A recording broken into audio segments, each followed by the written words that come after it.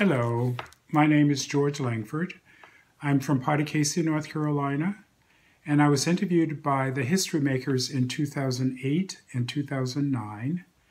I am a professor and a scientist, and I encourage all of the aspiring young people who want to be scientists to pursue their dreams. Aloha. I'm retired Judge Sandra Simms from Honolulu, Hawaii.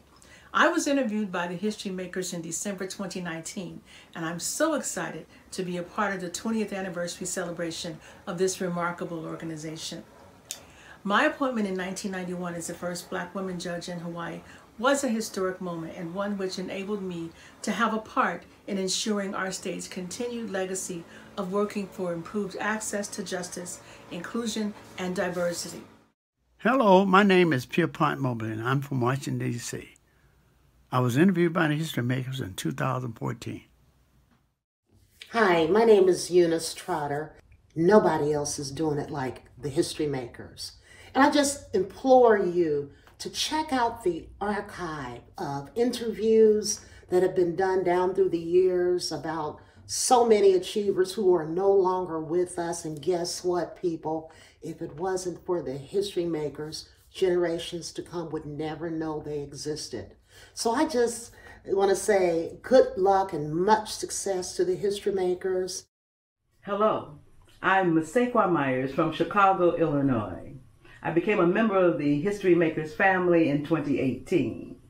I am a producer, director, writer, arts administrator, actor, and youth mentor, and proud to be known as a cultural keeper in the arts for the African American experience.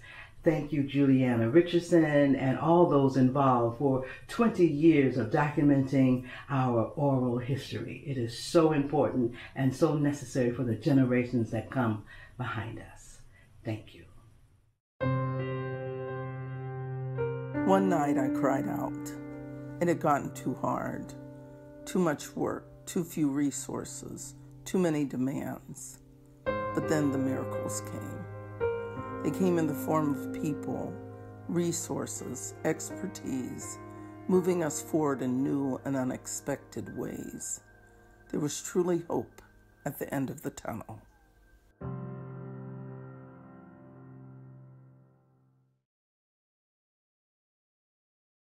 Good evening. I'm Darren Walker and I serve as president of the Ford Foundation. 2017 was a special year for the history makers. Their staff and crews traveled to Savannah, Miami, Jackson, Mississippi, Little Rock, Arkansas, and Dallas, Texas to both hold regional receptions and to interview area history makers. But more importantly, history makers convinced Franklin Thomas, the first African American head of the Ford Foundation, to have his life and career honored with the PBS taping of An Evening with Franklin Thomas. Every day, I reflect that my work stands on his shoulders. In fact, I was 20 years old at the time of his appointment and had no idea where my career would lead me. I had no idea that I would now lead the organization that he transformed. In 2017, New York's business and civic community came out to honor this great man. Let's take a look.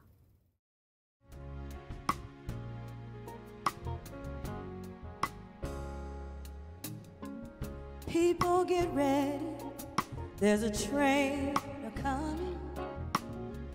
Don't need no ticket, you just get on board.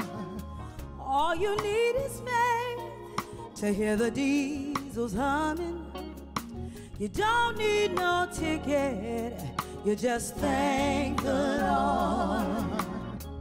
People get ready, there's a train to Jordan, picking up passengers from coast to coast.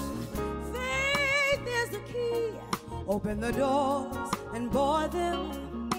There's hope for them all, among them love them all. There ain't no room for the hopeless sinner.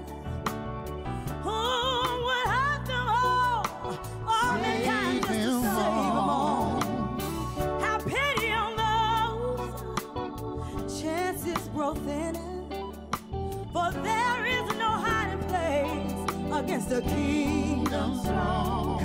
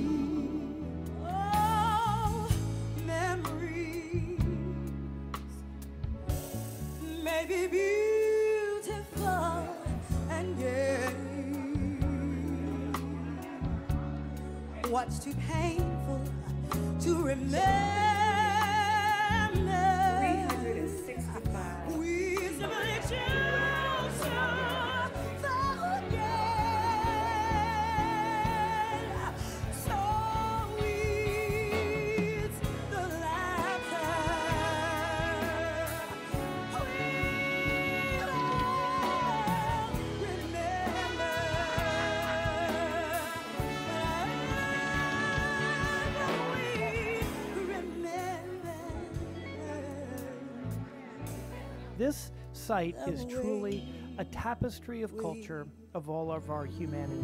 That's a tremendous history in those years. Trust with the donor, it takes time.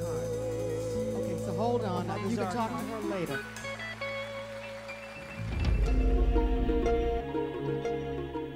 IBM was the type of company uh, that I would be interested in working in because of what they stood for. You know, clearly a technology leader in the marketplace, but at the same time, it was a company that viewed diversity as a business, that you want the best and brightest uh, across uh, various constituencies, generating um, ideas and making contributions that can make a, that can make a difference um, in our industry. And uh, that's what IBM stood for, and that sort of value proposition resonated extremely well with me. I was the first black person in a white collar position at the Herald, because the other people who blacks who worked there, they they were either um, the, the domestic worker who cleaned the buildings building, or the press the guys who worked in the press room mixing the ink. I was I was the first, and the black guys were so proud of me. They were so happy to see me there. They didn't know what to do. Uh, my dad was starting to build Johnson Products Company, and the best form of transportation was a station wagon that he could load up with product and go to Detroit, Cleveland, uh, Kansas City, Philadelphia, and sell what was then our first product, Ultrawave. And that was really my um, breeding ground, if you will, that developed an interest in business. And Johnson Products Company, through the years, obviously has been a, uh, a legendary institution in the black community. I remember it like it was yesterday when I had the uh, first client. Uh, this lady walks in, much younger than me, uh, maybe about the same age. I would say uh, back then, what was I, 29, somewhere in there. But they were very cheap. They were looking for someone that they could get for almost nothing. And ba-da, there I am. So her plan was to get all she could get from me at a very good price. Okay, she and her husband. And uh, my plan was to get all I could get from them and possibly get published. I wanted to make the house spectacular, and they were willing to use me to make that happen. So we all kind of got what we wanted.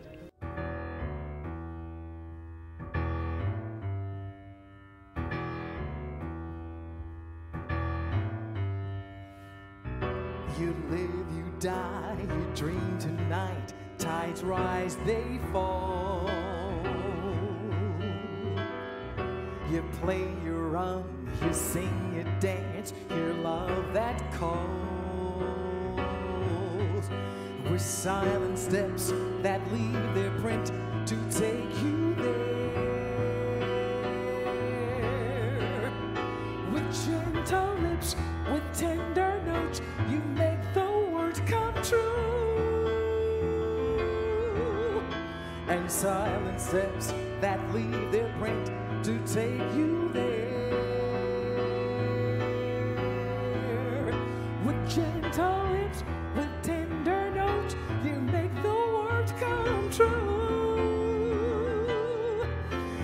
silent steps that leave their print to take you there. Take me there.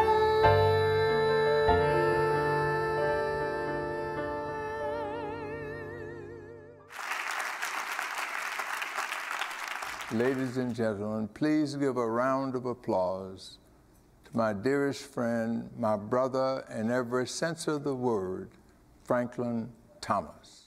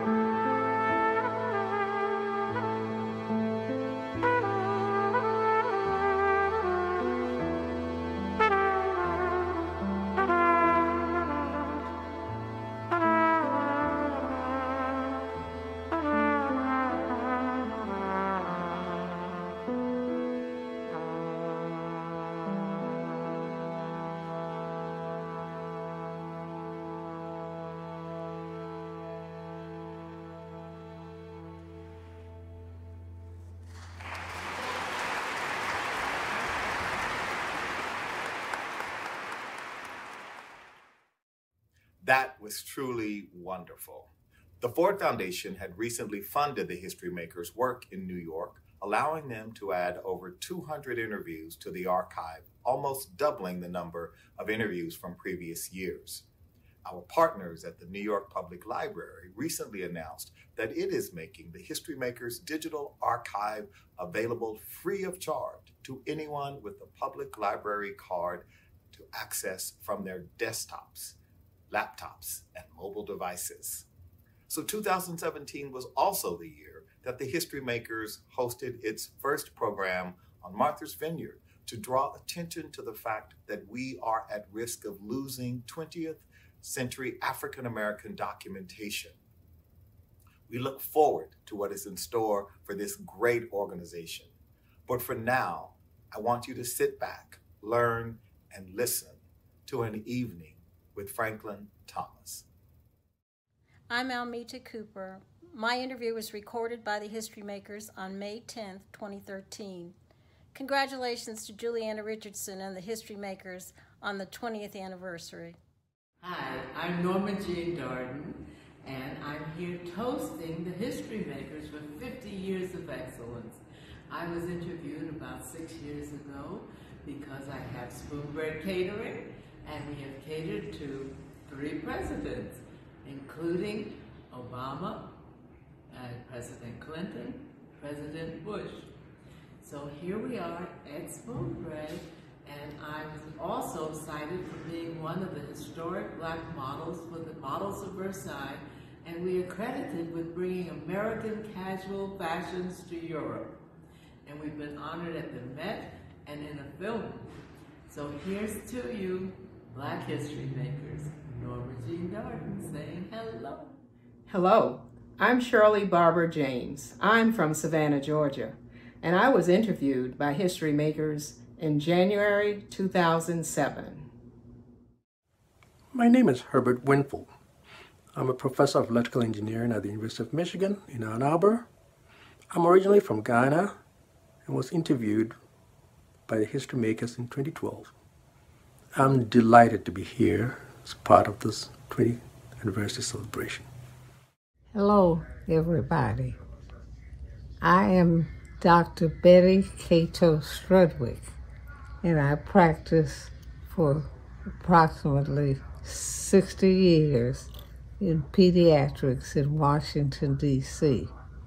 My late husband and I, Dr. Warren J. Strudwick, were privileged to have been selected by the history makers as among the first histories taken and recorded.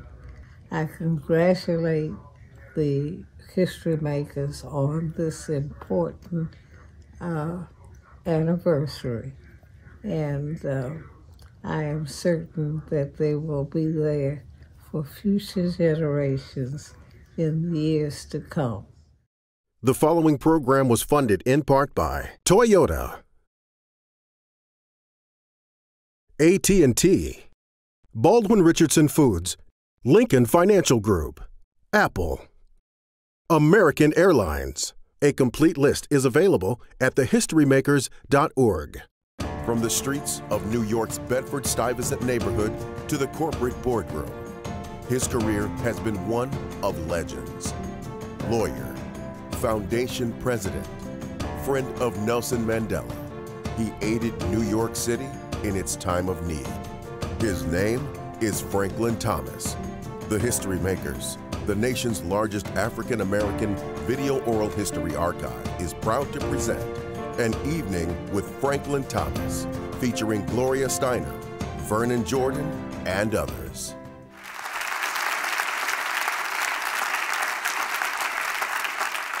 It is my deep honor and pleasure to be here to celebrate my good friend and your good friend and democracy's good friend, Franklin Thomas.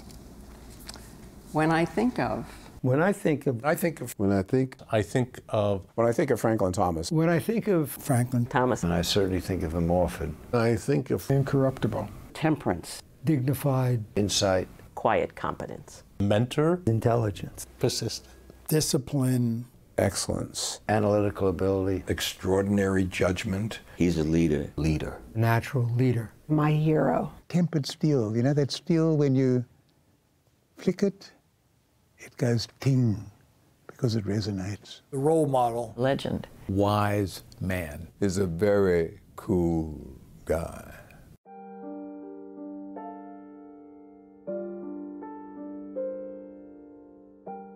I came to New York in the spring of 1970, and Michael Sviridoff, who was then big at the Ford Foundation, knew me, and he knew Frank Thomas.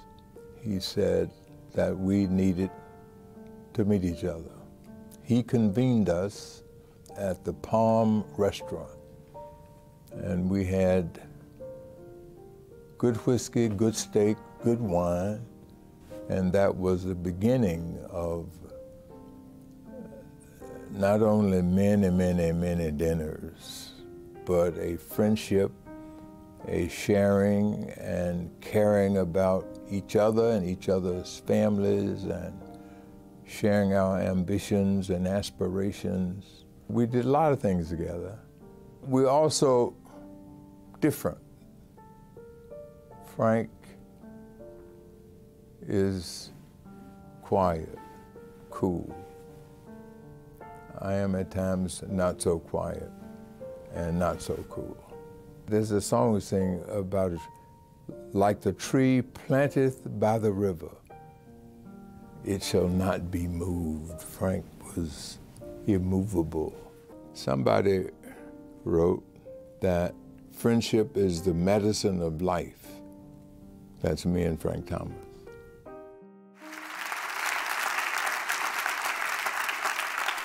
Ladies and gentlemen, please give a round of applause to my dearest friend, my brother in every sense of the word, Franklin Thomas.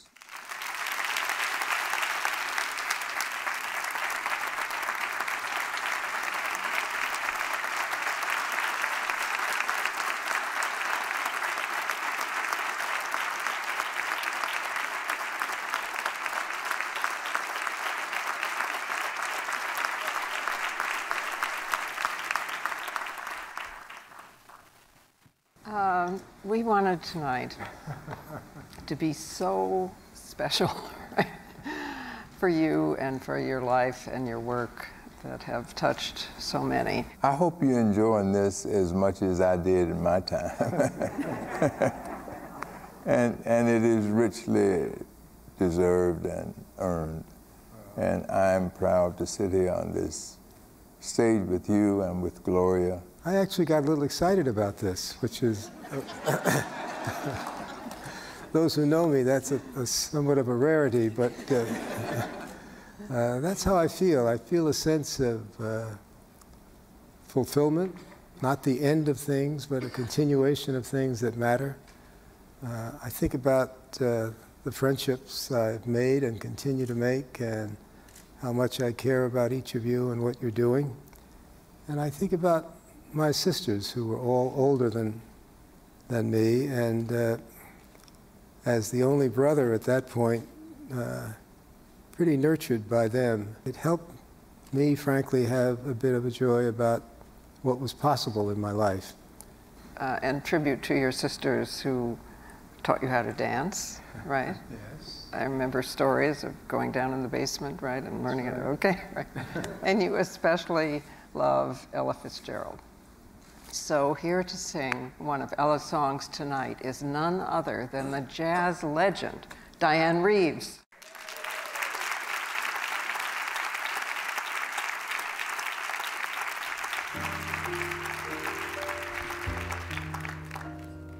Look at me. I'm as helpless as a kitten up a tree. And I feel like I'm clinging to a cloud. I can't understand. I get misty just holding your hand.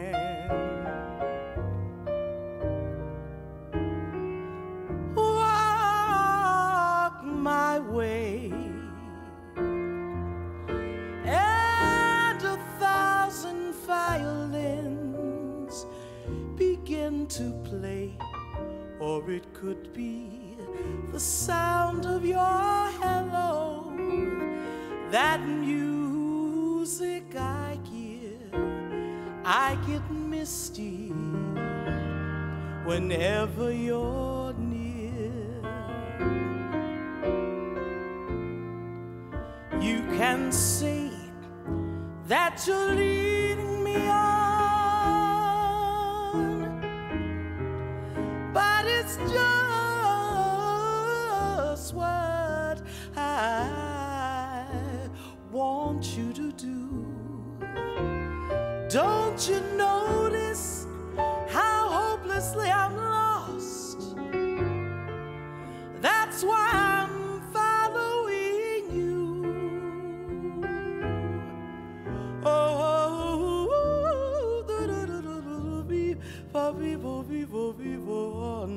my own.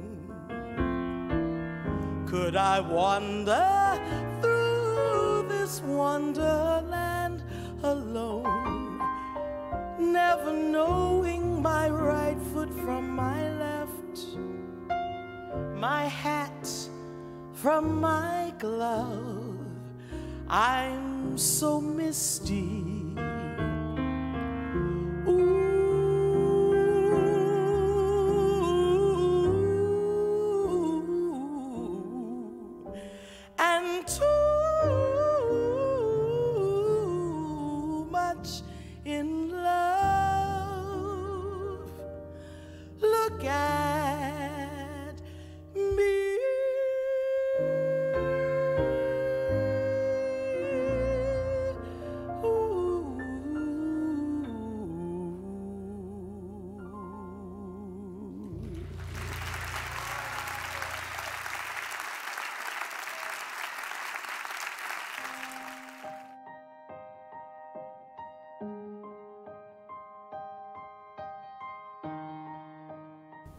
Have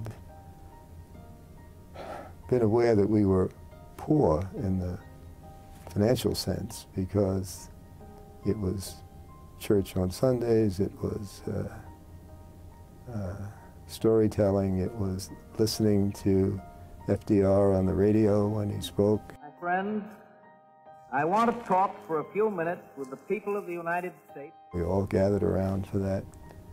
The living room had uh, two pictures, FDR and the Queen of England. My mother came from Barbados and uh, came when she was, I'm guessing, around 15 years old. So I grew up with her example of I can't say she was fearless, but she behaved as though she was fearless. She was proud. Um, and it didn't matter whether she was ironing somebody's shirt or whether she was down in Washington during the war. She had a lot to do with his calm and confidence that allowed him to always know he was not less important than anybody else and not more important either. Well, Frank, he was in the Boy Scouts out of uh, Concord Baptist Church, which was a major institution in Bedford Stuyvesant. I wanted to join the Boy Scouts because I had witnessed a parade with the scouts marching and the drums and bugles playing and all the rest of it. And the question was, how do I get from where we live to where the Boy Scout troop is? And that's street gangs all over the place. So I said, uh, I guess to my mother or my sister, I have to get a bike. Most of us did. We were in church and Boy Scouts. It was like a normal rite of passage. That's the way everybody went. He enjoyed uh, being part of the Drum and Bugle Corps, and he was a drummer. By now, I'm leading the Drum and Bugle Corps. And as we would pass each other, the goal was to drum out the other guys. So when we passed them, they're supposed to be confused at the end of that and not maintaining the rhythm that they had. That, that was the way it worked. So there was both the joy and the beauty of it, and there was also the competition. Frank and I actually met uh, at Franklin K. Lane High School. It was just something a little different about Frank. He seemed to know, you know, where he was going. and as if he was being prepared to go there. They said that w- when you go to the lunchroom there, when when Frank's around, there are a pile of books there, and everybody's sitting around. And then when lunch is over, everybody gets gets up and leaves, and Frank's left there. All the books were his. We both uh, made the varsity uh, basketball team. Frank was around 6'4", and in those days, that was a big guy. we thought that we could have gone all the way to city championship. And Frank Thomas, with his smart self, completed all his coursework mid-year, So we didn't have Frank for the second half of the season. And we thought we could make it without him, but we didn't. We laugh about it, obviously, but uh, they didn't win the championship that year.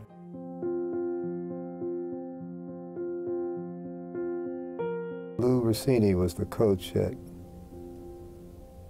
Columbia, and I went up for a visit, and uh, some of the players on their team were pretty well known, good basketball players. There weren't more than three or four per class, so that at any given time you, you wouldn't see more than uh, 10, maybe 11 uh, uh, black students there. Well, what was significant is Frank was the only black basketball player on our team, and one of the games that we played was against one of the top teams in the country. When we got there, and after we had checked in, we went down to the uh, dining hall to eat with the rest of the players, and they wouldn't allow Frank to eat.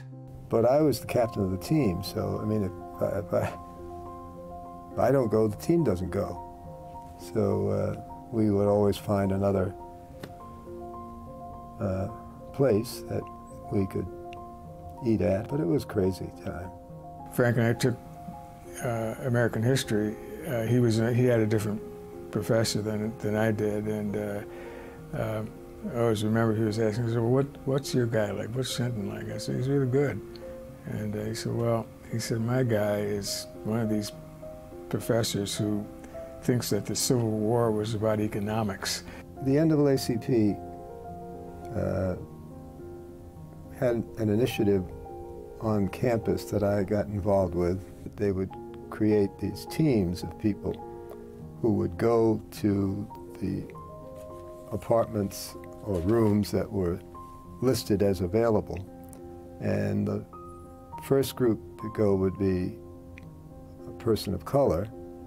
And if that person didn't get the room or apartment, they would then follow up with a Caucasian person seeking the same apartment with substantially similar uh, background. The college wasn't happy about it, but they didn't uh, interfere with this student initiative. He went from Columbia to the Air Force, where he served for four years. I got assigned to the Strategic Air Command, Curtis LeMay, and that whole group. I became a senior navigator. I got assigned to a wing that was a strategic reconnaissance wing, as they were called. So we were traveling all over the world, offloading fuel to our aircraft that had to fly at much higher levels than, than we did. We get started and we're heading over towards Europe and he looks okay to me. Everything is going pretty fine. So I, I step away from being over his shoulder, which is where I was in the beginning. And uh, then I get a call by the co-pilot who says that we have to report in it in the next 10 minutes or so. And uh, the navigator's not sure where we are. So I go back to him, and by then the perspiration is just draining down his face, and he's got out all these his charts from his earlier career as a navigator, and he's struggling. And we figure out the last point that we were certain of, what the headings have been since then, what the speed has been since then. Those kinds of assignments, I mean, I didn't seek it, it just, they just happened. When he got ready to leave after his four years, um, he was, uh, in his departure, uh, taken into the office of some of the military people, and they said, you, will, you really have a, can have a great successful career in the military and you're just the right kind of person and that wasn't really what he wanted to do. One of the men followed him out into the hallway and said, uh, you know, you would have, you could have had a great career. I believe everything that was said in the room, um, but you've chosen not to do it and I think that's the right choice for you because the, the, the fruit is really on the end of the limb. Um, it's not so easy to pick, and uh, you're doing the right thing.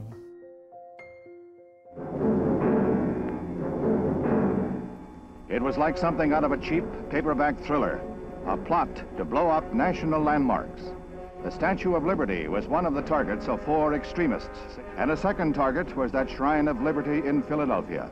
Authorities say they then intended to bomb the Washington Monument. I was to prosecute that case and select people to work with me as a team on that case. A team uh, composed of Steve Kaufman, who's the chief of the criminal division, Pierre Leval, who was the chief of appellate attorney, and, and uh, Frank Thomas. It was, a, it was an interesting case because you can have one point of view about protests and a different point of view about protests that is rooted in destruction.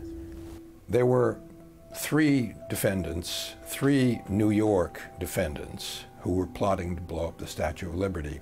There was another defendant um, who was a Canadian woman. Robert Collier and one of his assistants, Michelle Duclos of Montreal, who is affiliated with a group seeking independence for the province of Quebec. Another arrested was Khalil Said, who police say went to the Statue of Liberty to buy a model and further the plot with the fourth conspirator, Walter Bowe. The woman member of the gang buried the explosive in a vacant lot, police say. She had been observed by the Mounties going to her car, and her car didn't start. We went from gas station to gas station to gas station, and I'm saying, Frank, um, plane to catch. Uh, maybe we should be heading for the airport. Pierre, in his calm way, Pierre, we've got a little time left. Let's just do a few more stations. Sir, um, we are investigating a woman by the name of Michelle Duclos. This is her picture. Uh, do you by any chance uh, know this woman? Have you ever seen her before? And he starts to tell us, yes, I know Michelle Duclos, a lovely person, an idealist, a wild radical. She's been my customer here in the gas station for a long time. Oh my God, had we hit pay dirt. And not long after that, um, she became a government witness, um, um, the crucial government witness in this case. In a way, the 1965 trial was a precursor of 9 11. When people talk about terrorist trials, this case is rarely, if ever, mentioned. But if you look at it historically, uh, it should be part of the litany uh, because uh, that's exactly what it was.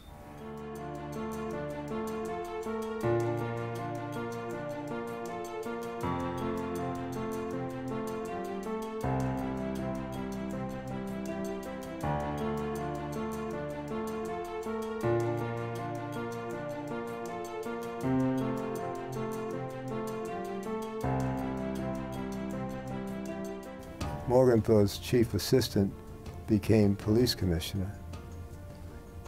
Uh, he asked me to go with him.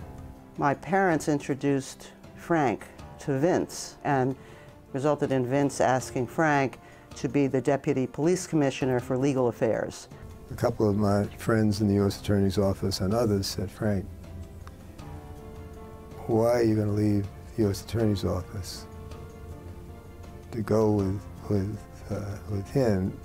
If Lindsay gets elected, uh, he's going to be out of a job. I understand what the consequences can be. So, true to the forecast, Lindsay gets elected.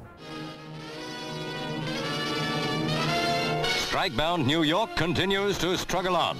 Strikers demand the release of their nine leaders, jailed for contempt of court. Union boss Mike Quill refused compromise. Personally, I don't care if I rot in jail. I will not call off the strike. Mayor John Lindsay, only two weeks in office, sets an example by walking 70 blocks to City Hall. Having a Bill of Rights inside the department was a positive circumstance which allowed the conversation to take place about having a civilian complaint review board. The year was 1966, and the mayor, John Lindsay, was being asked who was going to police the police. 1,000 veteran police officers had quit because of the Civilian Review Board. John Cassese, chief of the Patrolmen's Benevolent Association, said, You show me an accelerated pattern of police brutality, and we'll accept a review board, not a campaign promise by a politician. While there were good police officers doing their jobs, on July 21, 1966, there was a group called Sponge, better known as the Society for the, the Prevention of Negroes Getting Everything. And they were roaming the streets of Brooklyn, East New York. And trouble exploded on a hot summer night in New York. Rocks and bottles showered down, shots rang out, and an 11 year old boy named Eric Dean was killed. We ask, when will they learn? And now to sing her own composition, ladies and gentlemen, jazz legend, Miss Carmen Lundy, When Will They Learn? When will they learn? When will they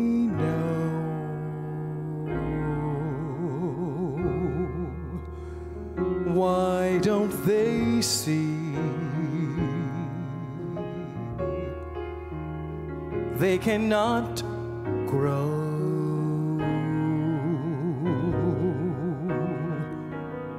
Running away,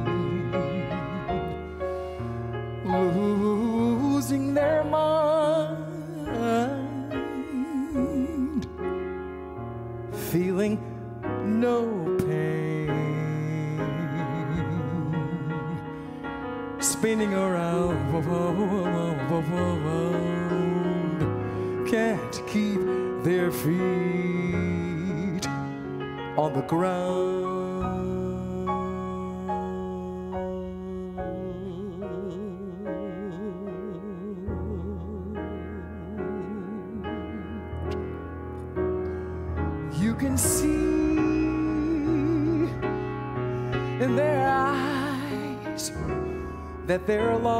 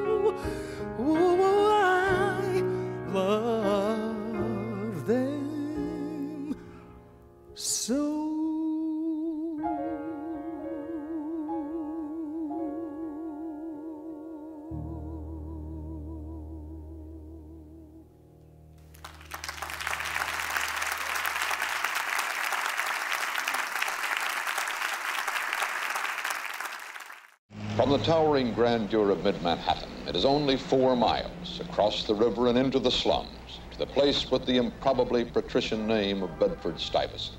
This place, a ghetto bigger than Watts or Harlem, bigger than any except Chicago's South Side.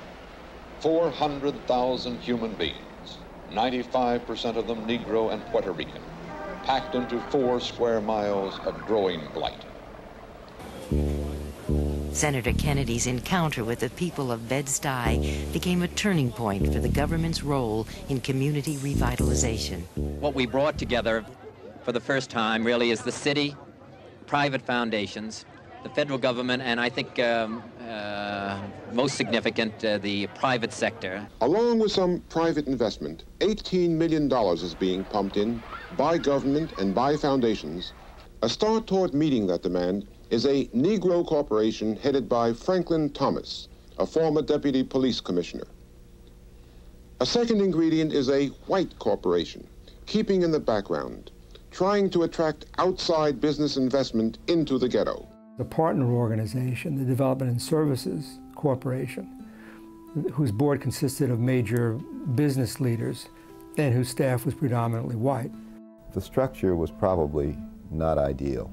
That is, to have a separate business group, Manhattan-based, and to have a separate community group, and then have the two come together as partners, while conceptually okay, was probably in human emotional terms uh, not the most desirable way to go. Not everybody was 100% um, behind Bed-Stuy. One, there was the skepticism. What do you guys think you're going to do? You know, visionaries. And two, in some instances, we were competing. And three, you had the political because most of the backing of the corporation came from Washington. So Frank now, he has to maintain his legitimacy with the black community and he has to maintain his respect with, with the you know, white leaders of the city. Frank sent me out to a church-sponsored uh, community gathering to talk about the mortgage program and the mortgage pool. I was just expecting all these wonderful questions and how do we get involved.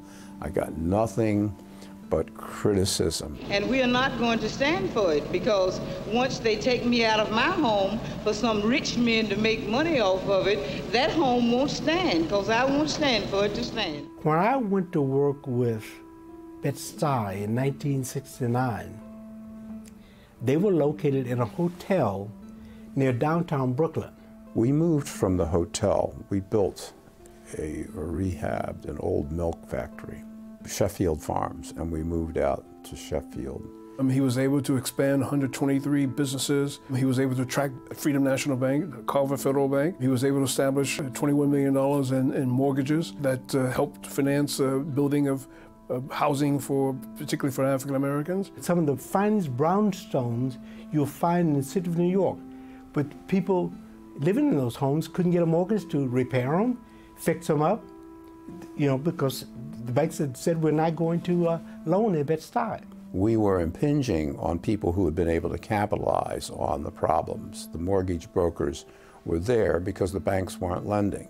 The Restoration Corporation got several of the big banks together and they set up a mortgage pool. We did a housing program, home improvement program, where we employed neighborhood young people, trained them in skills, and for $100 rehabilitated houses cosmetically in the neighborhood. We helped to, to build a facility for IBM to move in and, uh, and put one of their repair facilities in Bed-Stuy. He always insisted that art be a part of the building. He always supported the Billie Holiday Theater, which is a national place of excellence. What we were doing was consciously, openly, and aggressively asserting that the future for development and the future for a healthy community and through it a healthy society is a future which involves black and white people working together.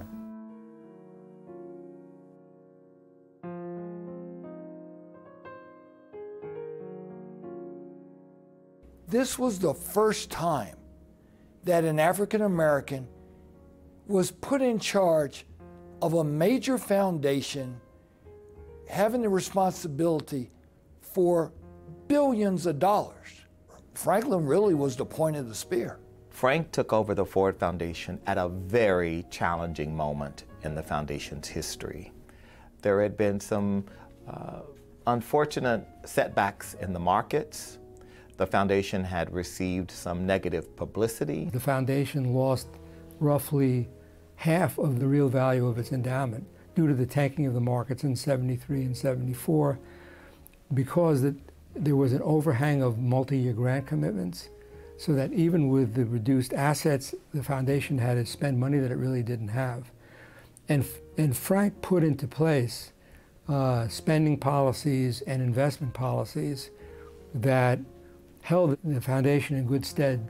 Frank brought discipline, he brought order, he brought uh, a coherence to our work, and he worked diligently with the trustees to reset the foundation on a course for success. He made some very remarkable changes in the foundation. The first was calling it one foundation. The foundation he inherited was strong in programs, but the programs were in three or four or five separate units, and they were rather competitive, and they didn't relate to each other very much. And Frank's idea was we're all here working on human problems of survival and suffering, and we ought to be have a kind of common menu we work on so we can learn from each other. Because of Frank's style, because he was deliberative and reflective and inclusive, um, it gave people a sense of the future.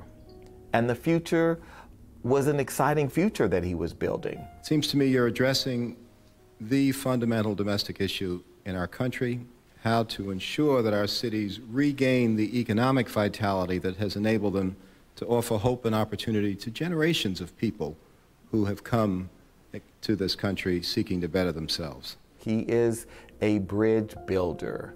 In a time when we have leaders who are talking about building walls, Franklin Thomas has always stood for building bridges. Frank imbued in the foundation staff this passion to serve uh, uh, people in these ways. The philanthropic world had been, unfortunately, far too homogeneous, far too white. Ford really sort of walked the talk. He changed a practice that was common in foundations of having sort of a tenure system. If you were in a foundation, you could stay there for a long time. Frank's view was every so often there ought to be a change, whether it's every five years or six years. We need fresh perspectives, fresh ideas. It was really because of Frank's leadership that the modern Ford Foundation was saved.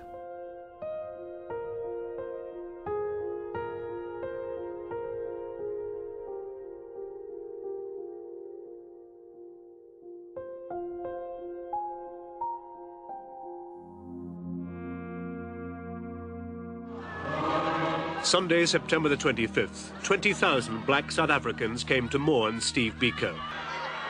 The name that would always come up in terms of who was seminal, who from America was really sleeves rolled up in the trenches with them, the name was always Frank Thomas. We were very dubious about philanthropy. We were fighting for rights. We were fighting for liberation. We were fighting for freedom. We weren't fighting for handouts. The liberation movements made huge contributions. But those contributions would not have come to anything had it not been for the work of South African activists on the ground inside the country. And our work was only possible through the support of the philanthropic world. I don't think anyone who's visited South Africa can come away unaffected by that country, by its the potential of its people, and by the tragedy of the apartheid system. His study was on the bookshelf of every CEO in the country.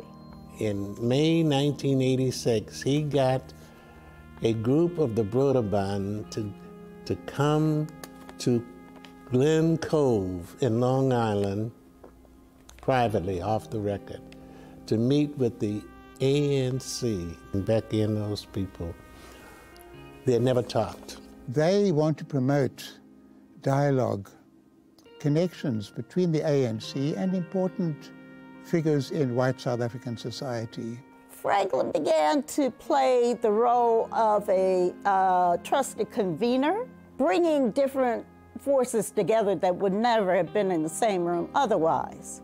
So we're all gathered at, uh, in the conference and we're taking on various subjects. And suddenly, this one individual from ANC, from the London delegation of ANC, stands up and threatens Peter de Lange publicly I will kill you. And he repeats it two or three times I will kill you. Frank said, Now, calm down. Hold on. We've come to talk.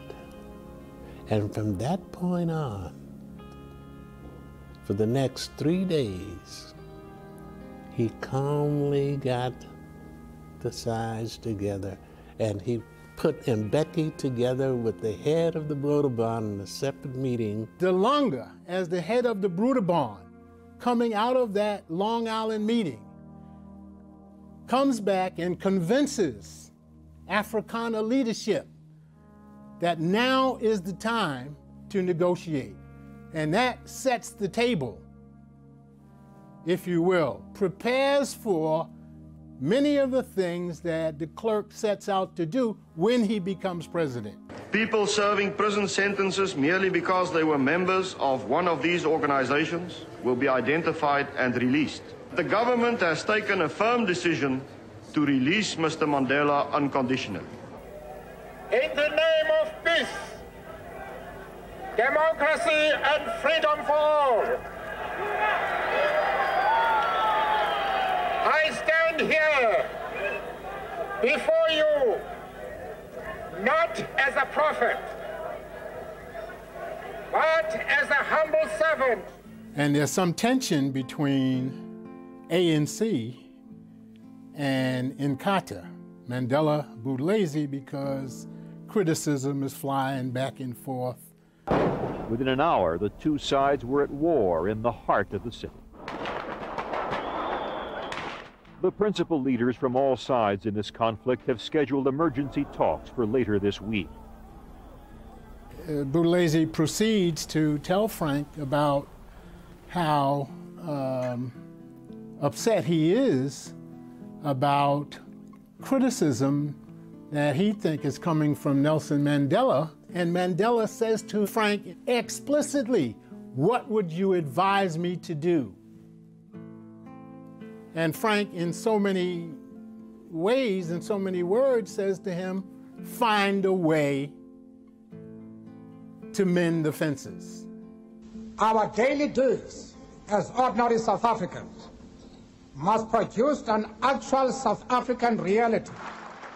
One of the important things that happened after the elections, black uh, South African lawyers have been held, you know, outside the courtroom, if you will. Ford Foundation began to work with the Black Lawyers Association. Franklin was very key in funding them and their education center. This is where history really uh, shows how powerful he is. Powerful. He is probably the most powerful man that we don't know of. He went as an emissary, as history shows, as a friend. That's leadership.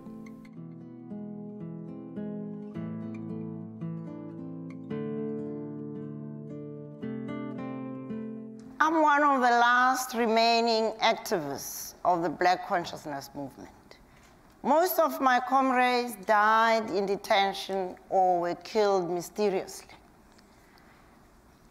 During the apartheid era, I was banished to the Limpopo province, where I started a community health center. Fearful of going to jail for not being able to pay the builder, I asked Bishop Tutu for help, and he approached the South African Council of Churches which is where the Ford Foundation and Franklin Thomas came in. Being blown up by apartheid agents, in my case, turned out to be a blessing in disguise. I was free when I came out of hospital to work full time on a new constitutional vision for South Africa.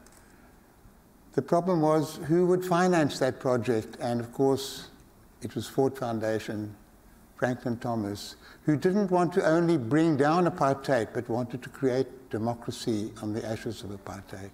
One thing we can be sure of, in South Africa at least, where there are legal people who are activists and idealists, the name of Franklin Thomas will resonate and continue to resonate. I had an instant connection to the struggle against apartheid, and the Ford Foundation supported me. So thank you, Franklin, for that. and now, Tomiko. Zinto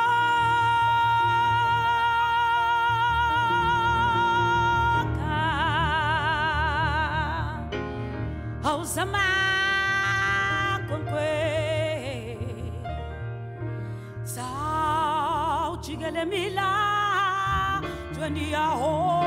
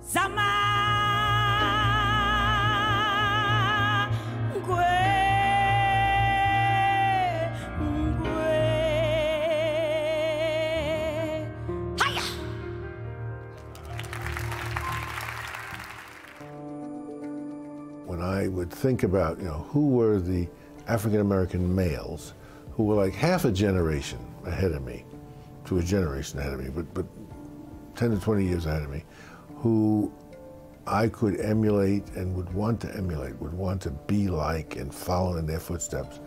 Frank was one, Vernon Jordan was one, Cliff Wharton was the third. When Franklin came into being, not too many blacks were on the boards of directors of major uh, Fortune 500 companies. Bill Paley decided that he needed to expand the reach of his board. So in walks 37-year-old person from Bed-Stuy, 36-year-old kid from the Midwest, and Marietta Tree. One, two, three. Each of us one uh, month apart, and it was hysterical.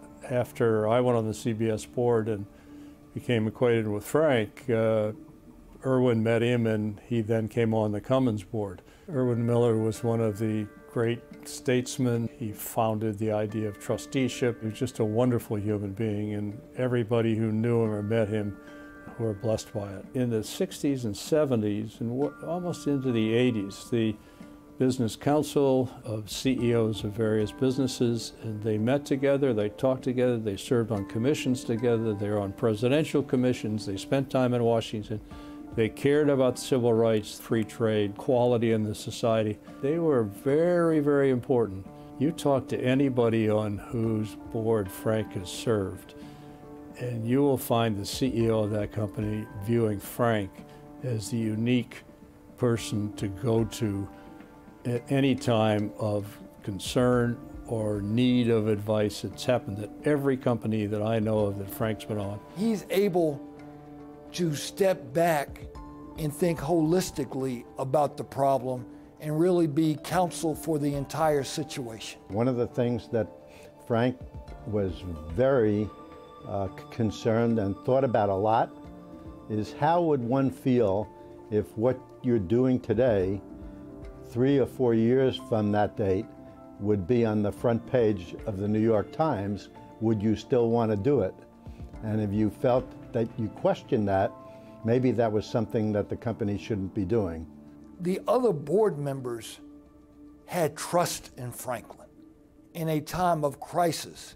It always impressed me that virtually, I, I think all the boards he was on, CBS, Citigroup, Cummins Engines, Frank would always end up being the lead independent director. He just commands that kind of respect. That's who he is. I believe Frank has paved the way for so many of us who, in terms of where we are today eh, because of who he is and what he achieved. Frank also believes passionately that business leaders should be civic leaders and not just the inevitable concentration solely on the bottom line. And he has shown that in all his leadership, all his life. He cares deeply about community, he cares deeply about people. And it was no surprise that after 9 11, he was called on once again. This just in, you are looking at a, obviously a very disturbing live shot there. That is the World Trade Center. A plane has crashed into one of the towers of the World Trade Center. The state of New York um, was, for anybody who was here, um, shocking.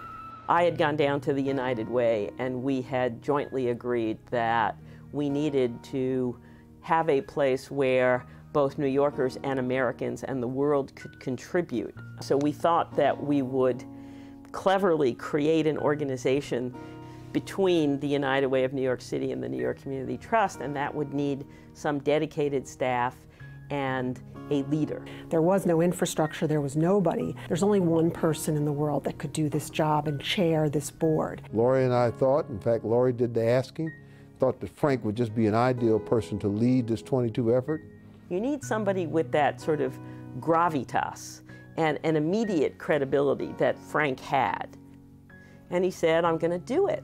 Because he felt compelled, as so many other people felt compelled, Frank stepped up and did a wonderful job. Once he made the decision to do it, he gave it his all, and with that incredible commitment and passion. Another source of enormous frustration by the families, and, and Liz McLaughlin alluded to it there, going down and having to fill out the same paperwork again every two weeks. And we had her just show you on her desk what she yeah. has to fill out, and it's the same paperwork. Well, I every couldn't single agree time more. she goes down. And frankly, with the new program, those people who are already in the system will not have to fill out any additional paperwork.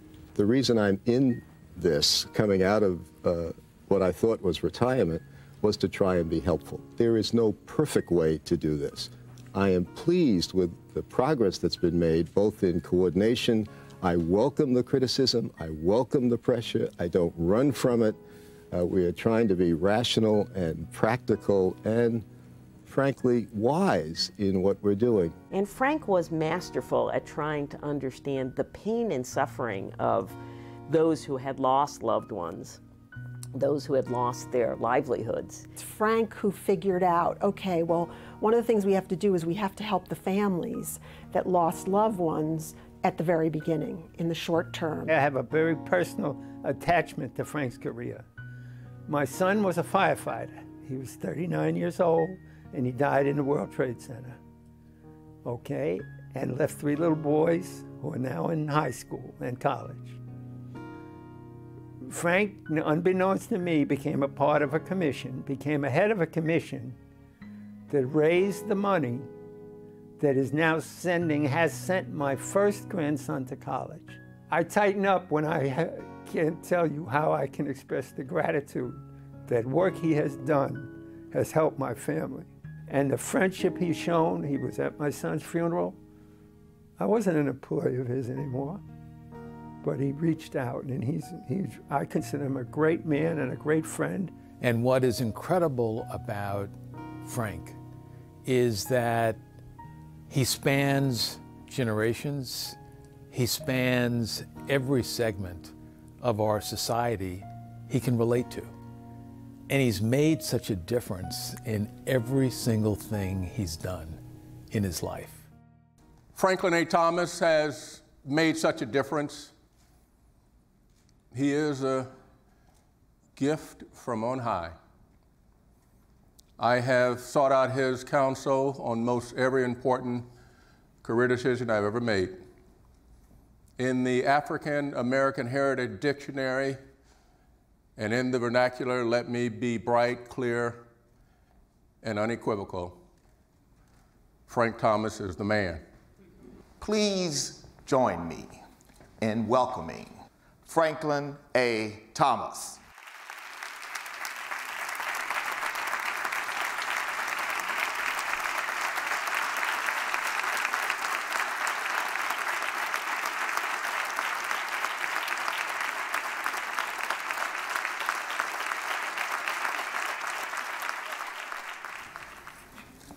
What's there to say? uh, a wonderful evening, a wonderful remembrance, and uh, a wonderful guide for the future to keep it up, to keep doing it, to keep being active. Um, we have a wonderful nation that continues to improve itself, and we need to not let anyone or any group start to separate us again. We need to stick together, and we'll all be stronger. And the villains will go on and they'll be rich and they'll do whatever they want to do. But uh, we'll have something that we can leave for those who follow us uh, that's worthy of all the efforts we all put in and uh, the respect we have for the values of the nation, the image of the nation, the intention of the nation to be even greater than it's been. So, thank you.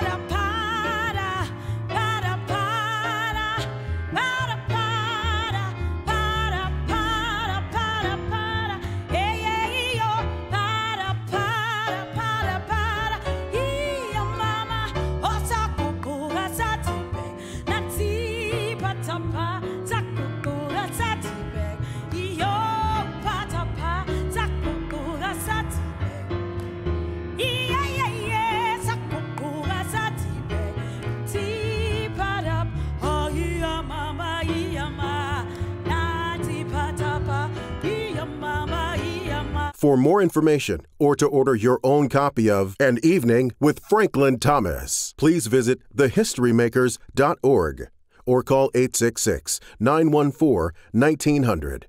That's 866 914 1900.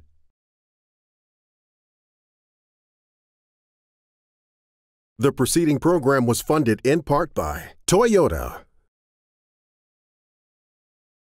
AT&T, Baldwin Richardson Foods, Lincoln Financial Group, Apple, American Airlines. A complete list is available at thehistorymakers.org.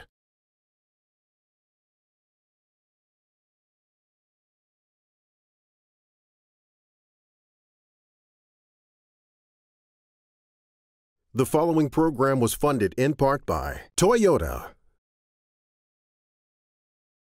AT&T, Baldwin Richardson Foods, Lincoln Financial Group, Apple, American Airlines. A complete list is available at thehistorymakers.org. Known as the Black Metropolis, Chicago was a beacon for African Americans from across the country, a nurturing place for those who would go on to the world stage. An Evening with the History Makers, Chicago Stories, explores this rich history that is Chicago's legacy. Hosted by actor producer Harry Lennix and actress director Regina Taylor. Hello, Mr. Harry Lennix. Regina Taylor, you are a sight for sore eyes. Brings me back to that wonderful evening we spent with the History Makers. Yes, an evening with the History Makers. That's right. You know, I'm looking at this paper today and seeing all the crime and violence. It reflects a city I don't much recognize. The news doesn't capture a fraction of what Chicago is, was, or can be. Let's try to recapture it ourselves a little bit with the great Teresa Griffin bringing us in to that wonderful evening we spent.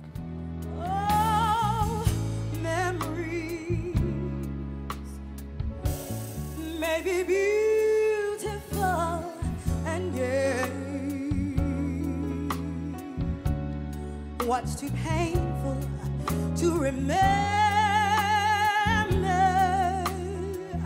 We simply choose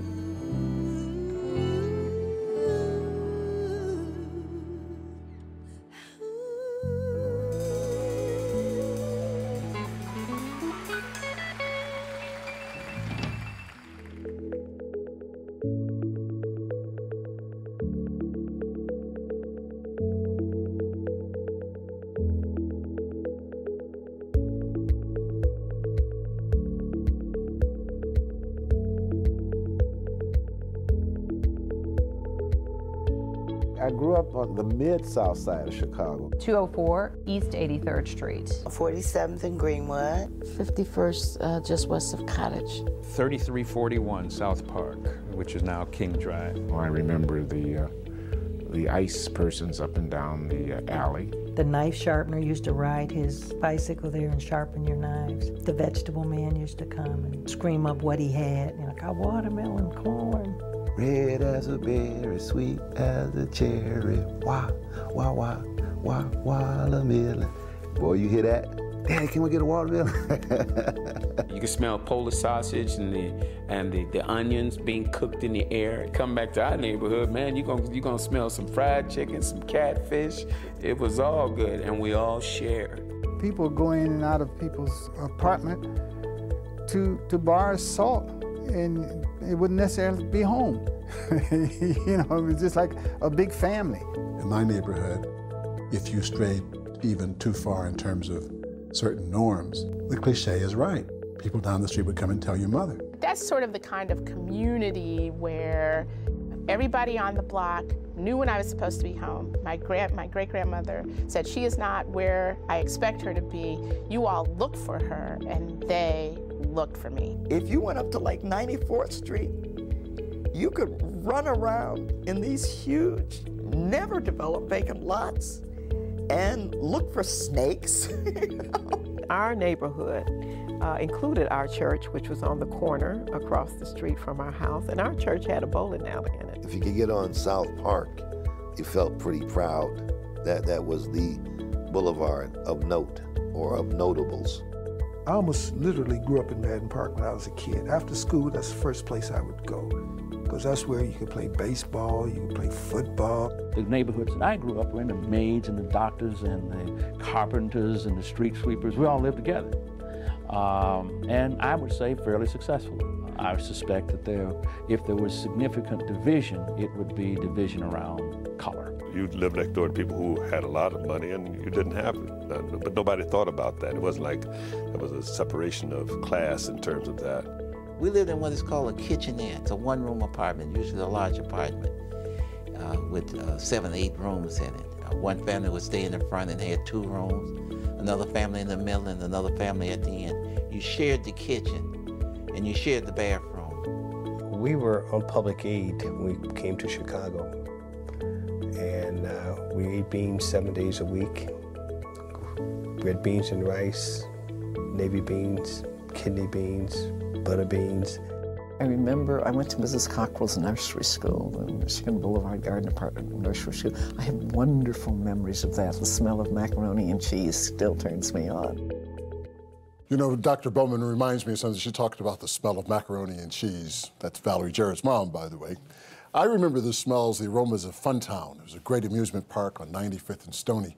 You know, for all of its reputation as a city of violence, Regina, Chicago at one point provided great sanctuary for any number of various people. When I grew up, there was a, a tremendous mix of people. There were athletes, politicians, preachers. One of them is the former governor of Massachusetts, Deval Patrick, and he'll tell you a little bit more. Good evening. My name is Deval Patrick, and I am a business executive, a lawyer, and the former governor of Massachusetts. But I grew up here in Chicago, right around the corner from the Robert Taylor homes on 54th and Wabash. It was a real community. When I think back to the south side of Chicago when I was coming up, I can still see the horse drawn wagon filled with straw and watermelons moving down the block in summer we all kind of had the same story. Everybody was from down south. My grandmother was from Kentucky and had a third grade education. But she had strong middle class aspirations. She was strict about decorum. My mother was on welfare for a time, but eventually got her GED at night and a job at the post office. She and my father split up when I was four. He was a jazz musician, a founding member of Sun Ra, who also played with Thelonious Monk, Count Basie, and Duke Ellington. The South Side then was segregated, of course, but felt more self contained and self sufficient. There was a mental toughness, probably a survival instinct. I think a lot of people in the neighborhood had that, and they imparted that to us. The good old days weren't always good, but that sense of community counted for something. And that needs to be rebuilt in our neighborhoods, in this and other cities all around the country. Start there, and the solutions to the rest of what ails us are easy. I grew up in a very tough neighborhood on the west side.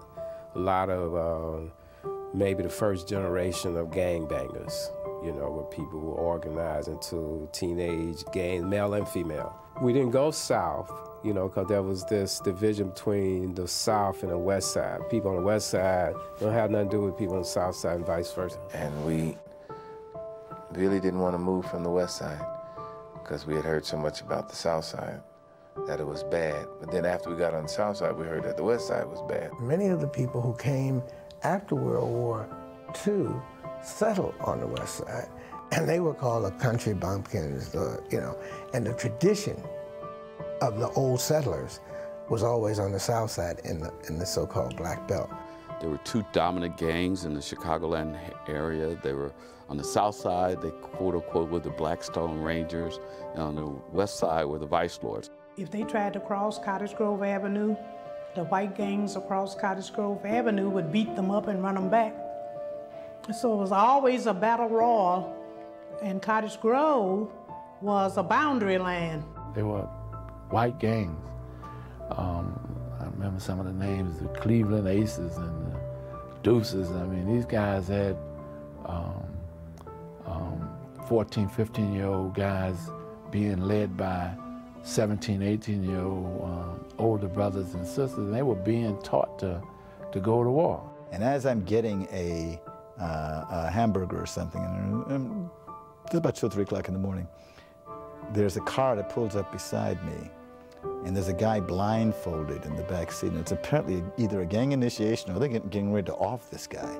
And he just pulls up beside me and then keeps going. Well, my first experience in uh, moving to Darrell Homes was being beaten up by a girl gang after winning uh, a softball game. That was my own experience with girl gangs. During the time that I was uh, living in the housing projects, that was a boy thing. It wasn't a girl thing. I always thought if you, if you're in a gang and you're in the wrong gang, that's a problem. Uh, if you're in a gang and you're not doing what they ask you to do, that's a problem. But if you're not in any gang, then you got a chance. The kids, and, and, and that's an accurate description. That's the beginning of young people making their own rules. When, you, when it was no longer the adults telling the young people what to do, the young people started telling adults, this is what we're going to do. My name is Reuben Cannon. I was born in the Bronzeville area of Chicago on the south side. My father worked at a stockyard. When I was eight years old, he died of a heart attack, leaving my mother with four children to raise. We moved to a housing project, the Harold L. Ickes Homes. In the fifth grade, I was very fortunate to have a teacher, a wonderful teacher named Miss Luckett. What I heard Miss Luckett say was that we had found a home in Ickes, and greatness had found a home in me. By the grace of God and the loving support of my family and the community, I was able to walk fearlessly on my paper route. This was a paper route that started at 15th in Michigan and went 25th in Michigan. Along the way, there was Johnson Publishing Company. In fact, it was John Johnson that said to me, Reuben, this is important to learn how to shake a hand firmly and make eye contact. A powerful man taking time to mentor a paper boy. Everything I needed to know to be successful in my first job in Universal Studios in the mailroom, I learned on my paper route. My mother said to me, Reuben, the greatness in you is not determined by what you do for yourself. It's determined by what you do for others. That's the Chicago spirit I know.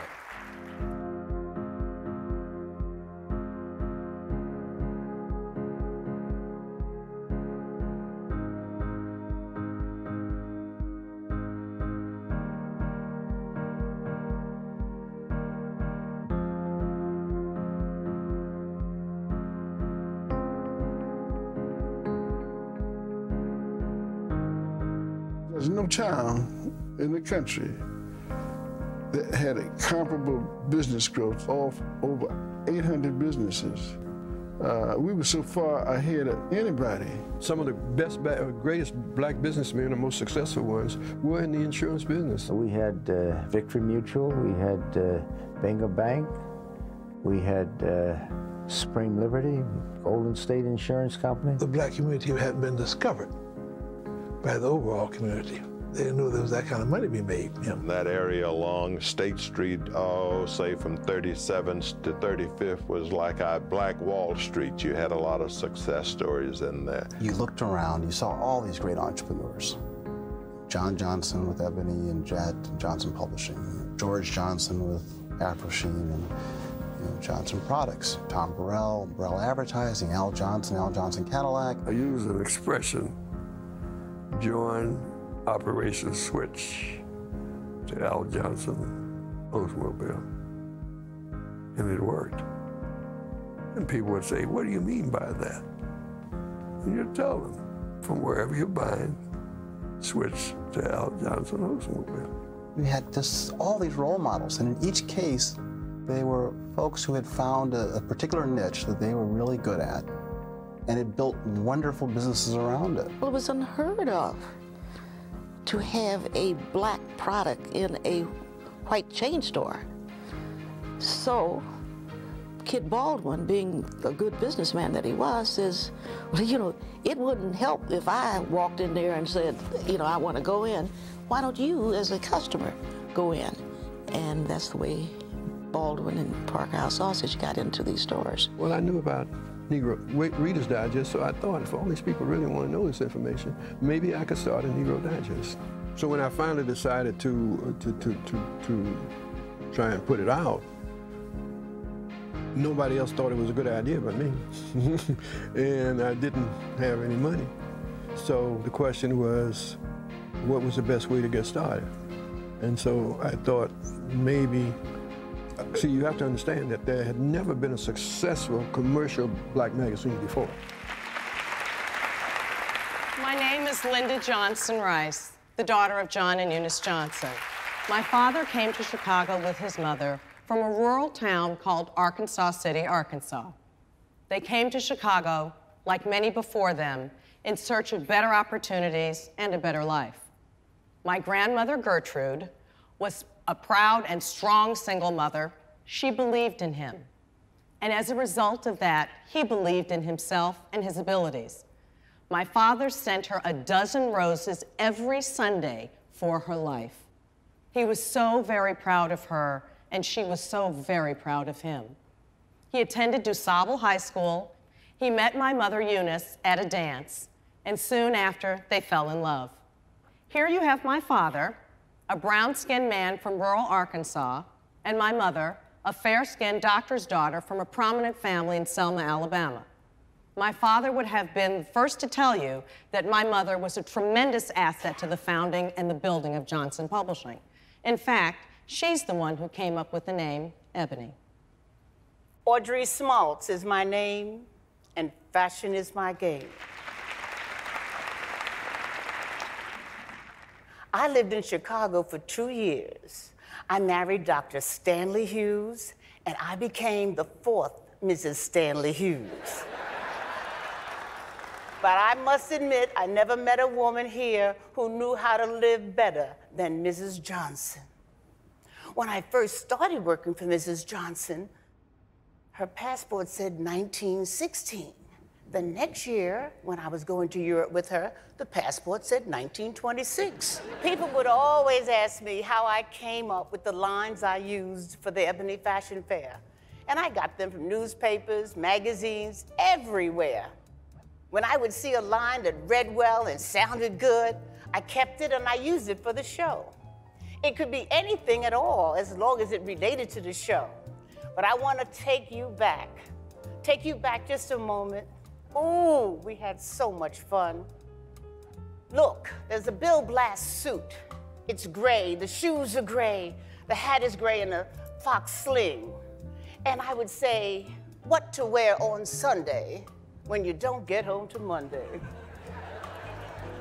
we would only have the most fabulous clothes on the runway, like a gorgeous blue and yellow fox fur from Carlo Tivioli. And I would say to the ladies, ladies, you work hard. You deserve it. You owe it to yourself. There was another model, she was so elegant, and she would come out and just stand there, and I'd said, When the invitation reads, don't dress, consider this to wear. And the people would just, ah, oh, because it was drop dead elegance. There was nothing like working for Johnson Publishing. It started a career that I'm still involved with as I enter my 80th year.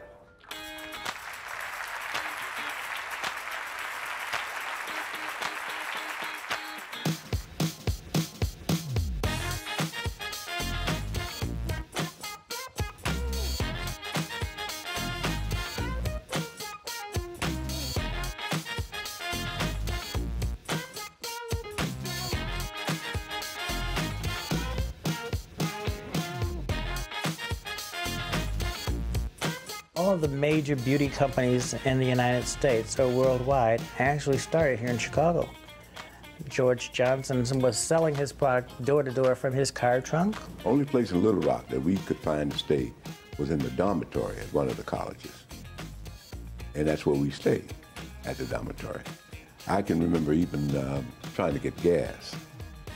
Uh, the attitude was all, the attitude of the, of the, of the gas attendant was terrible. He had, uh, was so professional in his manner of doing the research, developing good products, um, packaged them real extremely well. And I was just naive enough to say, well, if he can do it, I can do it too, you know. So Johnson Products Company put the money behind it and put uh, Soul Train on TV. And Soul Train was terrific. Soul Train went on October 1971. I think we did around $12 million that year. In 1975, we were doing $37 million. My name is Eric Johnson. I'm the president and CEO of Baldwin Richardson Foods and the son of George Johnson. George went to the bank to borrow $250 to start his new venture.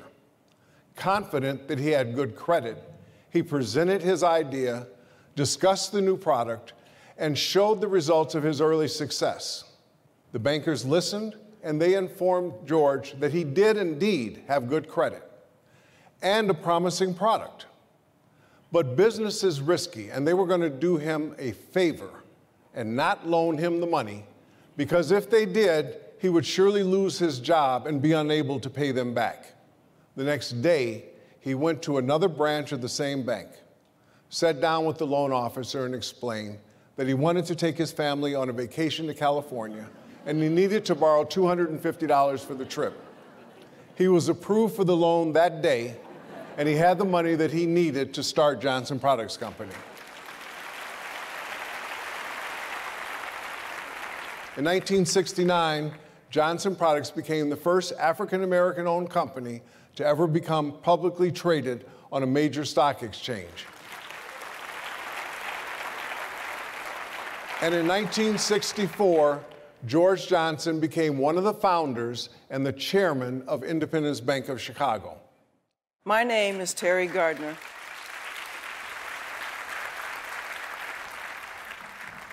My mother and father founded Soft Sheen Products in 1964.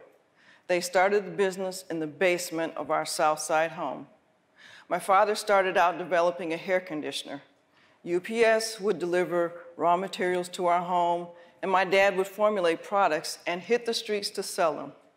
Our car was always a station wagon or a van because we used the family car to deliver the orders. We assumed everyone was like us, working after school in the factory, greasy clothes all the time. Uh, apparently, my parents were unaware of child labor laws my three brothers and I started working and paying Social Security when I was eight years old. After 15 struggling years, Soft Sheen finally became profitable. As a multinational, multi-million dollar company with over 33 brands in the 1980s, by the late 80s, my parents brought the new Regal Theater back to life. Additionally, my parents were the first black shareholders, investors in the Chicago Bulls. They helped finance the voters' registration campaign that convinced Harold Washington to run for mayor. He worked to register people to vote, not to tell them who to vote for, but to give people a voice. That voice is what we still need today in everything from our school systems to the policies of our city, state, and nation. As stakeholders, we have to be diligent about letting people know that we are paying attention as a community, more than ever, we need to use our power. Hello, I'm Don Jackson. I've been in the television production business as CEO of Central City Productions for over 45 years. I have witnessed black producers, black ad agencies, and black businesses working together to support shows like Soul Train, which started right here in Chicago. Johnson Products Afro Sheen creative ads were developed by Vince Cullers, the nation's first black advertising agency based here in Chicago. Then Tom Burrell of Burrell Advertising was in charge of buying advertising time on Soul Train for Afro Sheen commercials. These were the days when black businesses supported one another, creating programming first to make a difference and change the world. When we came up with the idea of doing a live, two hour television production of the Chicago Bud Billiken Day Parade, all signs were against it. We persevered. The parade proved to be a huge success. With the support of black agencies, ad agencies, the parade became the highest rated parade on Chicago's television.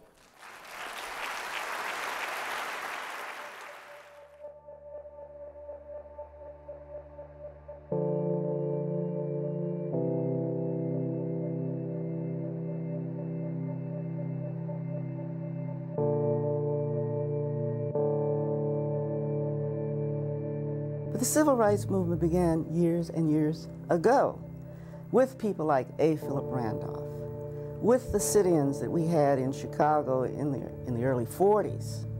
When I arrived in Chicago in 1946, it wasn't uncommon for you to go to 63rd Street and the sheriff of Cook County was moving out a black family from a house that the black man had paid for. This was a, everybody was talking about freedom and being against tyranny, except in your case. The four freedoms, does that apply to us? You're still in the Jim Crow outfit. This is a terrible thing. I've been in many demonstrations all across the South, but I can say that I have never seen, even in Mississippi and Alabama, mobs as hostile and as hate-filled as I've seen in Chicago. It was here when we tried to march for open housing going to a Gage Park that he was bricked in the head. It was here that you had this just uproaring of white ethnics attacking the drive to march for open housing. Uh, uh, it was here that you had a, a complex political machinery um, trying to destroy him and destroy our movement. There was a um, fire station, and um, the fire commissioner made some insensitive remark about this woman dying there and, and, and accused us of perpetrating this kind of thing. Well, the community went up for grabs. As I walked the streets in the riots at the request of the mayor until, uh, you know, trying to get people to be calmed down, until one time I said, this is the last time I'm going to do this because, in a sense, you're getting co-opted. You're being asked to uh, quiet people down, and yet the conditions in which people live are not changing. It was never a shootout, it was a shoot-in. Now, I had known Fred Hampton, and this really touched me because he was a guy that I would see and joke with. I mean, he was about as harmless as, as you are sitting here. You know, he, the Panthers were feeding people in the black community. Ultimately, they set up uh, a plan to murder Fred and myself. Uh, and on December the 4th, 1969, they did, in fact, come uh, onto the west side to an apartment where Fred was standing. I was supposed to have been in that apartment. Um, and they shot that apartment up, killed Fred. The word came through at that time that, that Fred had been killed. And, you know, I remember being so stunned. I'm up there preaching, and I just broke down. I started crying. I couldn't. Uh, I uh, just, I just didn't couldn't deal with it. And um, one of the fifth graders jumped up and he said, "I am Fred Hampton." Hanrahan and his deputies raided our churches after these kids busted out our windows, knocked out our doors with axes, came into the church, took the kids out, and then issued subpoenas to all of us pastors for grand jury for aiding and abetting criminals from the law. That was my baptism by fire into the politics and the political life of Chicago.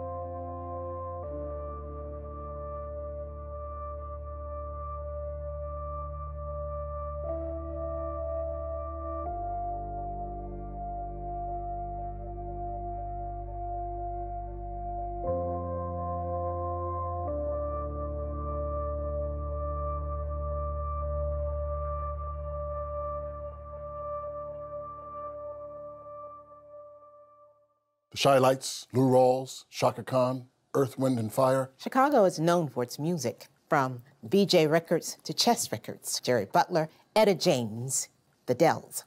Let's take a look.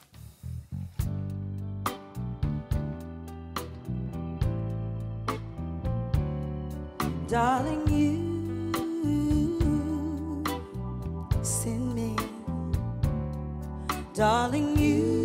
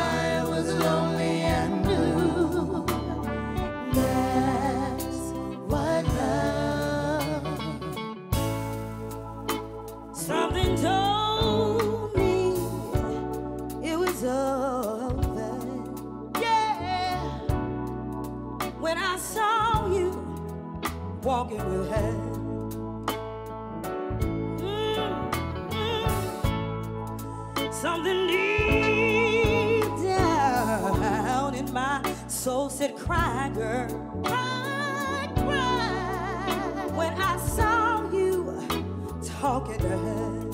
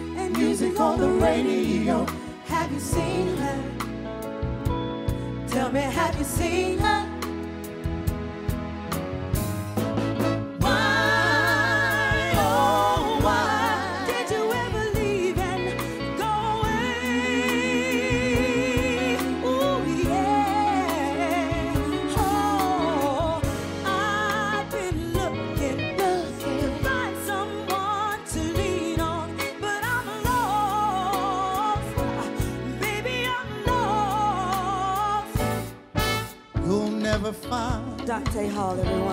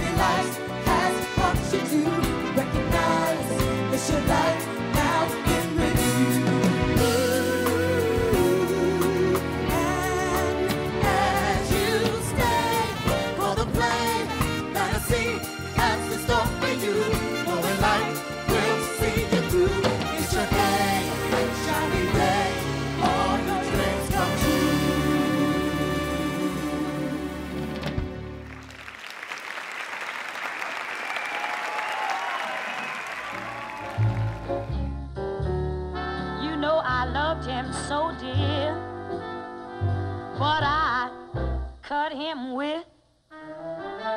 My Bilo kicked him in his side, stood and laughed while he died. So There were so many nightclubs. There was the Ritz Lounge. That was where Dinah first started singing. In the Ritz Lounge, that was where I first met Dinah. I don't want no sympathy, cause I just cut my good man's throat. We had so many nightclubs. 55th Street must have had full nightclubs everywhere you look. You had uh, the jazz joints uh, uh, at 47th and uh, and King, or 47th and Drexel, the old Sutherland. I want to send you over to the Regal. He sent me to see Maynard Ferguson and Miles Davis on the same show.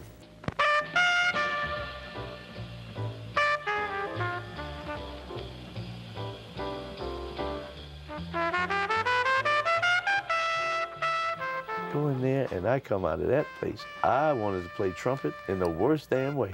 Now, Joe Williams was uh, another friend of mine that uh, that uh, I helped because Joe was a very talented guy. Because it's you I hate to lose. What about settling? How you gonna keep me from meddling? He had a beautiful voice. Joe always wanted to sing ballads, you know, beautiful songs.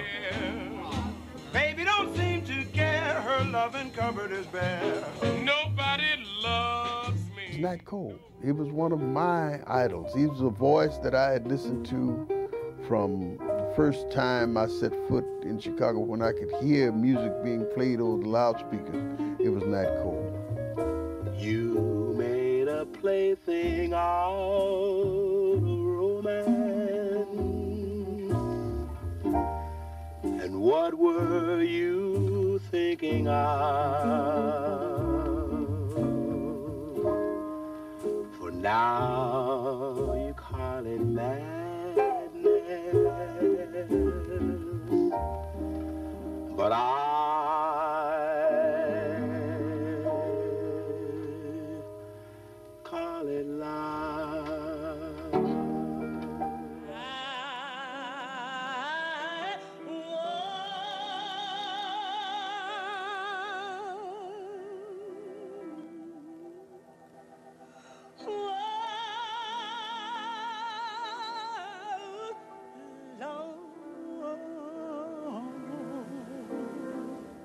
Mahalia had a deep voice, a contralto voice. It sounded like harps was in it.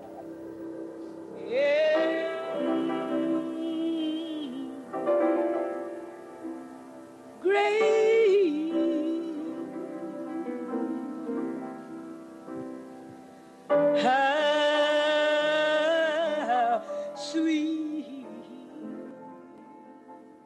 was walking on stage and Mahalia was there rehearsing. I had to go back to the dressing room.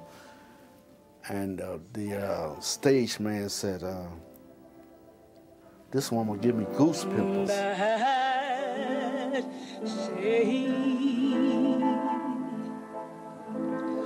oh,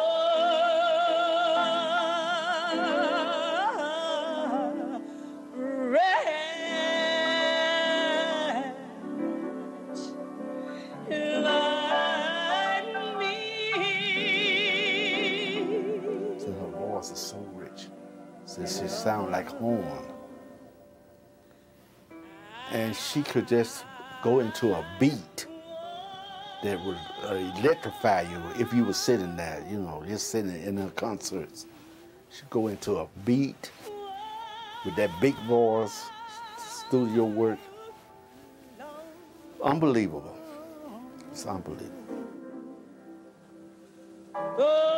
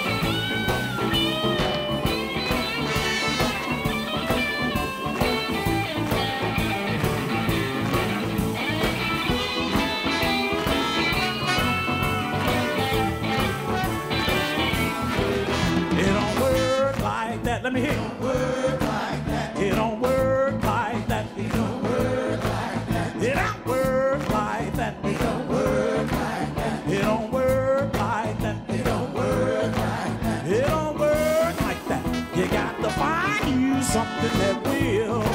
All right, help me sing this one then. Uh, come on. Baby, don't you wanna go? Let me hear.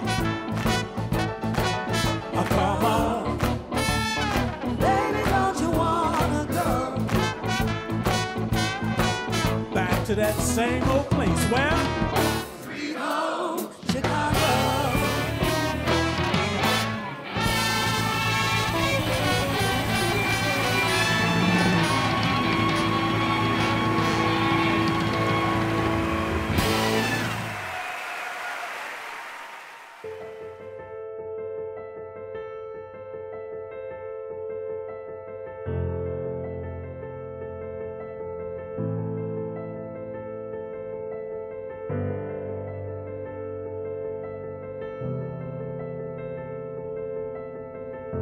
If you care about people and you want to bring about change, politics and government go hand in hand. Good politics is good government.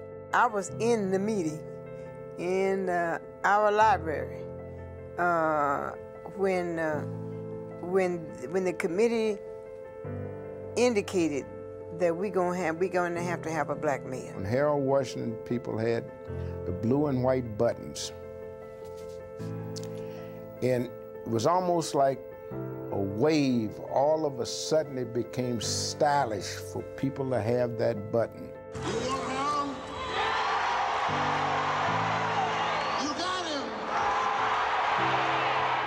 brought the city together. And you know, he said, "No one will ever beat me being fair." That that that, that he, you know, you, you couldn't move him from that. And there were those who tried. Tell me, give him the finger. Yeah, man. I think, first of all, the black community should be proud of the image of, uh, of an African American uh, mayor and who was running a city uh, with great skill. To be the mayor of the city of Chicago, you got to be able to be cool. An African American had to break the ice and run for president, and it had to be someone who had the nerve and the guts to take the risk. And Jesse was that kind of person. We are gathered here this week to nominate a candidate and adopt a platform. This guy went around and he just, he really earned himself a role at the National Convention in the way that he had in 1984. I often say, you know, there are many um, books and stories that are written about the Jackson campaign. But I often say, for me, the legacy really is um, the Jackson campaign was a job training. When my name goes in nomination, your name goes in nomination. I was born in the slum, but the slum was not born in me. And it wasn't born in you, and you can make it. Wherever you are tonight, you In a way, you could you could argue that Jesse made it possible for the emergence of someone like Barack Obama.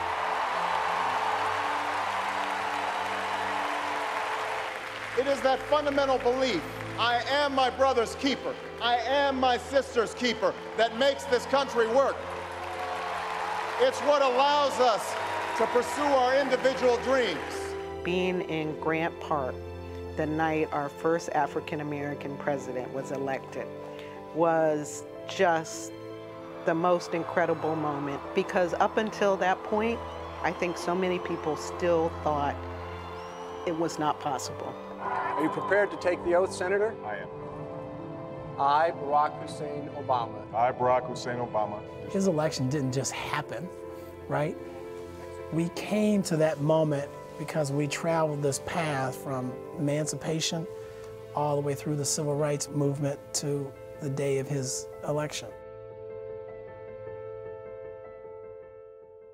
From the election of Oscar DePriest, the first black congressman from the North, to the elections of Mayor Harold Washington and Senator Carol Moseley Braun, from the campaigns of Jesse Jackson and the election of President Barack Obama, Chicago has shaped the political destiny of our nation. Let's take a look. My name is Brenda Gaines, and I had the honor and privilege of working with the late Mayor Harold Washington as a member of his administration. In September of 1983, I was tapped to head the city's Department of Housing. Later, I became his deputy chief of staff. To have known him is to have loved him. He would walk into a room and people would shout, Harold, Harold, Harold. And how did he reply? You want Harold? You got Harold. He could talk to anybody, and he loved to talk to everybody. There will never be another Harold Washington. And while it was significant that he was Chicago's first African American mayor, what's more important is the lasting effect that he had on Chicago. It is a history and a legacy that makes us all proud. My name is Valerie Jarrett, a former senior advisor to President Barack Obama. My relationship with Barack and Michelle started when Michelle was referred to me as a candidate to join the staff of Mayor Daley's office. That chance meeting led to a 26 year friendship that has transformed and enriched my life. Little did I know when we met that their commitment to public service would propel them to become the nation's first African American president and first lady. Chicago's African American community has always stepped up to push that arc towards justice, advocating for positive change. I grew up in South Kenwood and I love Chicago's South Side. So does my mom, Barbara Bowman, who also grew up on the South Side and who is here with me tonight. There is something about this city that attracts excellence, and we need to nurture the next generation of leaders. Now let's find our voices. Let's unify. Let's engage with one another. Let's support one another and listen to one another and work together to ensure that our future is a bright one.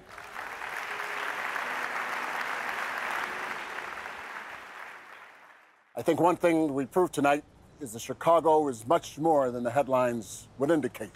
It's more than police sirens and bullet holes. It is a town that gave birth to leaders and pioneers who took us from jazz clubs all the way to the White House, from juke joints to city halls, all the way to Hollywood.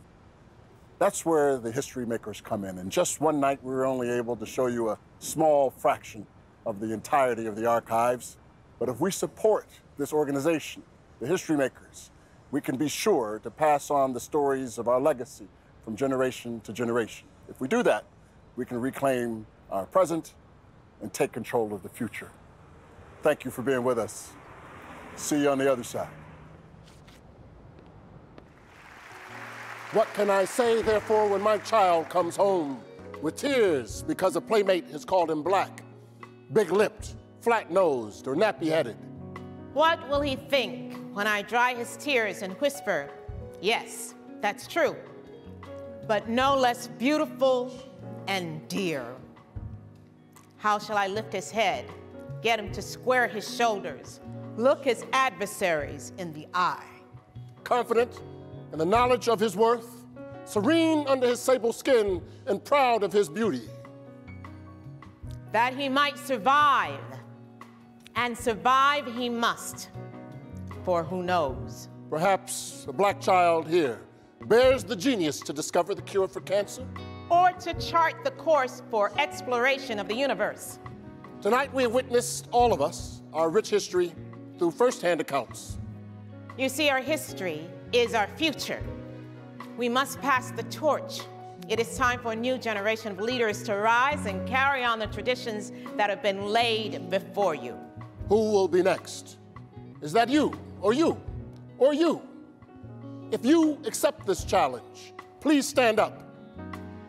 If you accept this challenge, please stand up and say, I do. Let's move forward together. Thank you to the history makers. Thank you, Chicago. It has been a wonderful evening. Teresa Griffin, take us out with the song. Ooh.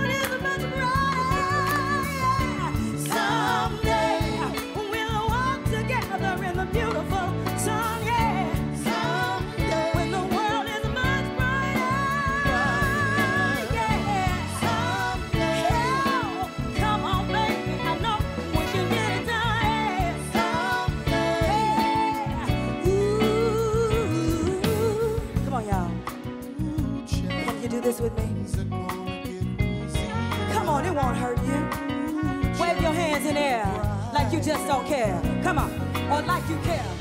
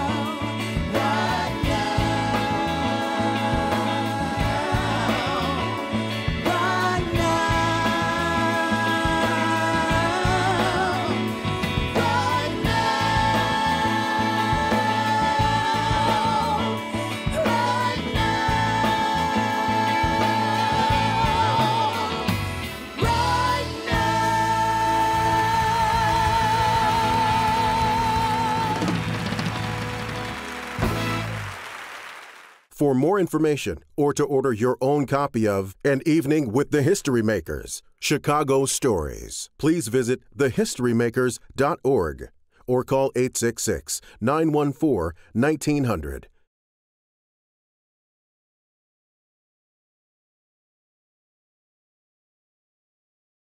The preceding program was funded in part by Toyota, AT&T, Baldwin Richardson Foods, Lincoln Financial Group, Apple, American Airlines. A complete list is available at thehistorymakers.org.